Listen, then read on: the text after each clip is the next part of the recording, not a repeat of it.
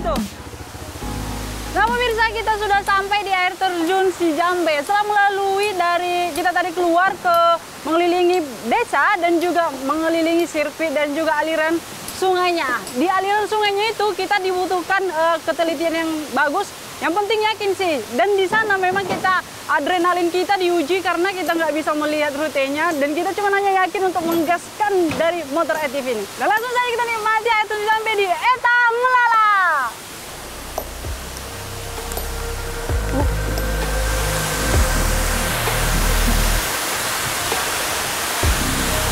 Dalam kali bang? Enggak ya? Masih aman ya bang? Oh oke. Okay. Lemas kayaknya. Apa-apa ya.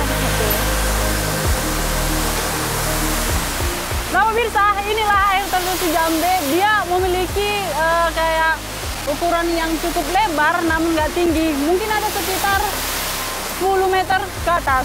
Dan untuk menikmati di sini juga bisa mandi-mandi di sini dan juga di air terjunnya langsung. Karena dia nggak begitu deras jadi aman untuk kita nikmati.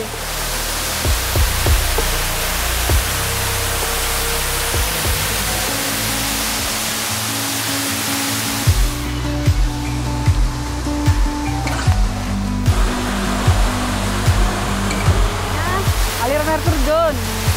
Ditemani terus sama abang pemandunya Ujung dari perjalanan dari Etivian ini adalah air terjun Senjambe. Uh. Ambil sendiri kencang.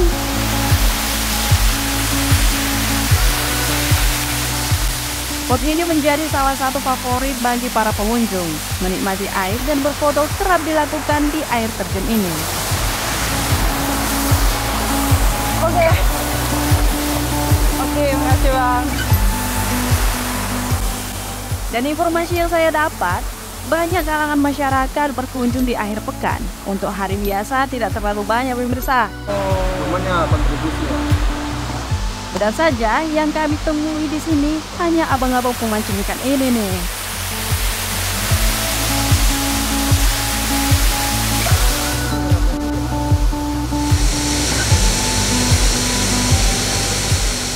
Oh iya, mengunjungi tempat ini nggak harus sewa ATV ya pemirsa. Sekedar berkunjung ke air terjunnya juga terbuka untuk umum. Namun jika nggak main ATV, kurang serunya. Karena saat ATV-an, kita bisa merasakan kesenangan dan pengalaman yang baru, terutama yang suka tantangan nih. Cocok lah buat kalian.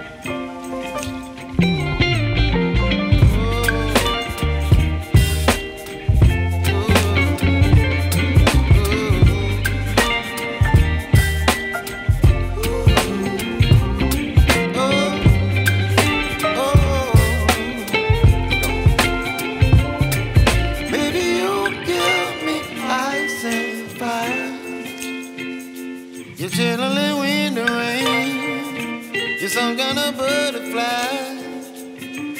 Baby, you give me midnight. You whip up my appetite.